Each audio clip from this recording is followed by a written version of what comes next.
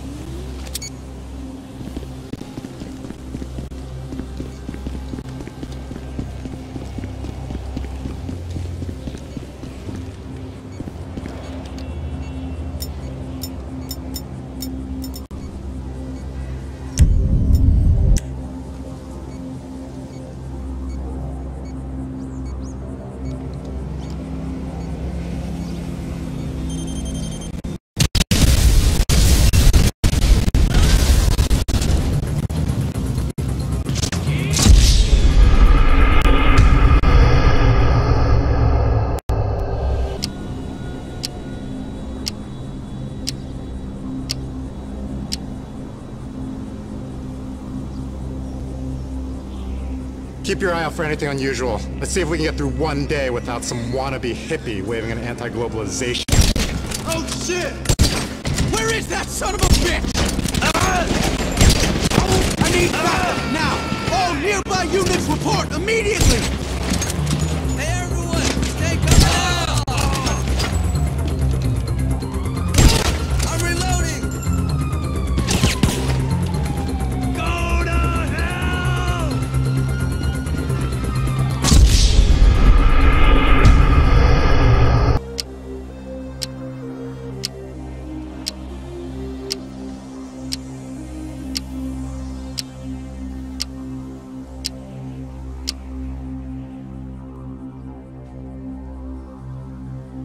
Keep your eye out for anything unusual. Let's see if we can get through one day without some wannabe hippie waving an anti-globalization sign in my face.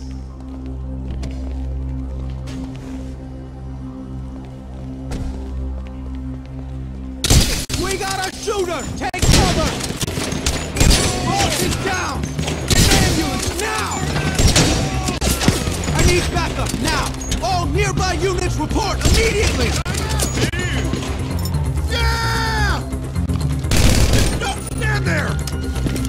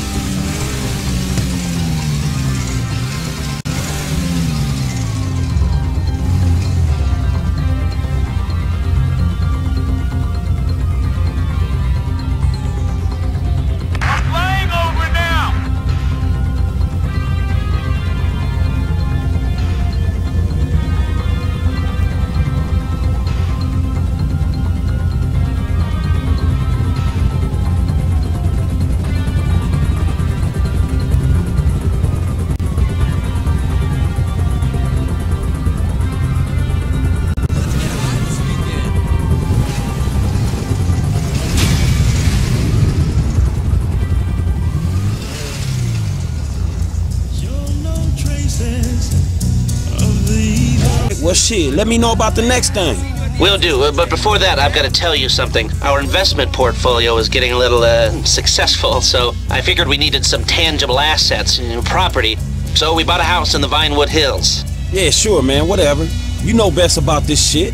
And we needed someone to live there you know, for tax purposes, so some guys are moving your stuff in. Oh, shit! Meaning I don't have to live with my crazy ass aunt no more? Man, I don't know what the fuck to say, dawg. Don't say anything, especially if a man in a suit comes to the door.